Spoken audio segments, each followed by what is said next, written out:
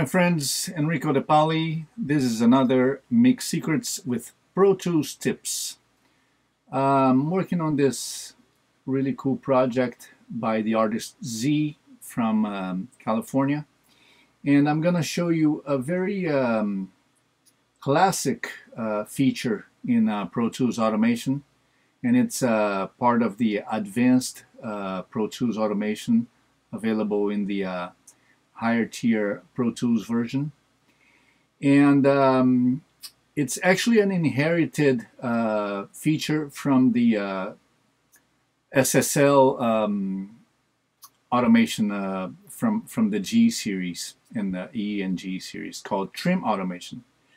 So let's say I want to, um, let's jump right to it. Let's say I want to make a quick regular automation on this uh, background vocal track.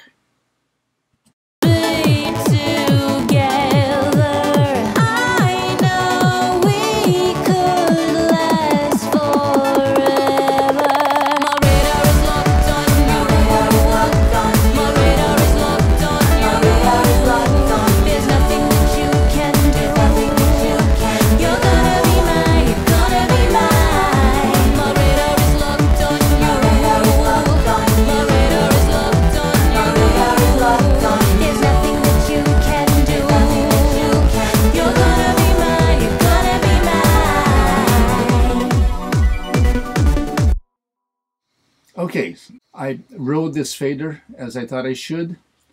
And let's say the, uh, the actual fader rides are all cool, all good, but I decide I want the whole background vocals a little louder.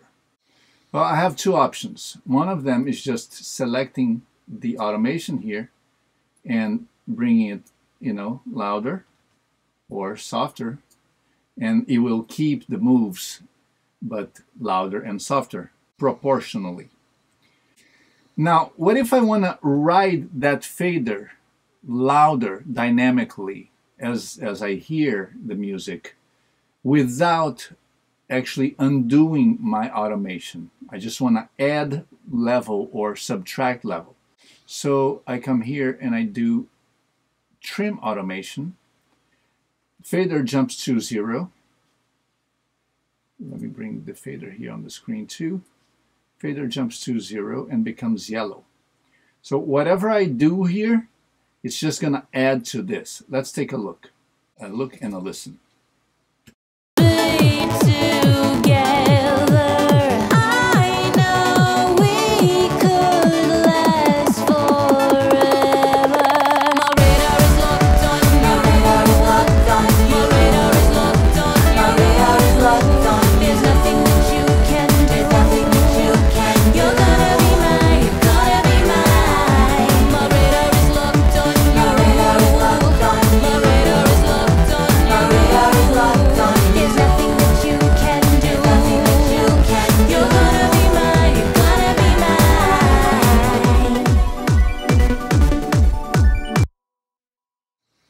Okay, as soon as I let go, whatever I did here on the fader gets summed or subtracted if it was more or less, adding or subtracting, to the original, um, original moves I already had. Now, if I go into preferences, I'm gonna see coalesce trim automation after every pass or on exit, exiting trim mode or manually. Since I have selected after every pass, you noticed it's automatic. You know, after I let go of the fader and stop the transport, uh, the sum or subtraction uh, happens automatically. If I had done it manually, let's do it. You know, whatever I do on the fader in trim mode, uh, is going to write uh, automation to the trim lane and not to the to the fader gain lane, to the volume lane. Let's see that.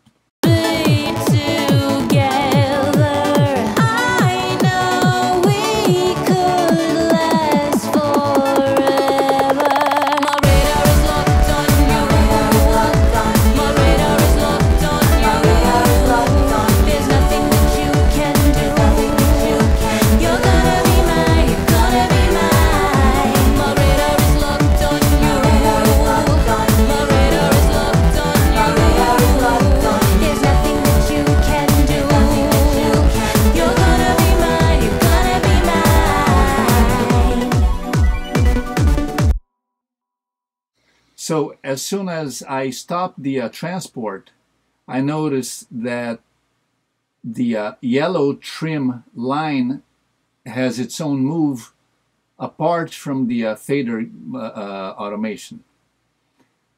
In order for me to, to add these, this line to the to the actual fader automation, I go into I click onto uh, onto the track name with the with the right button, and then I go coalesce trim automation. Note that um, it will just become one thing and the uh, trim automation yellow line will reset to zero. And it will add that, those moves to the fade automa automation. There you go. So this is trim automation, really, really useful in the classic automation mode. Once you already have a lot of automation moves and you just want to ride faders up and down without undoing what you already had. You just want to be adding or subtracting to what you already have. This is Trim Automation, and I'm Enrico De Paoli with Mix Secrets Pro Tools Tips. If you like the video, please click on like and subscribe the channel. Hope to see you soon again. Have a have great mixes. Bye bye.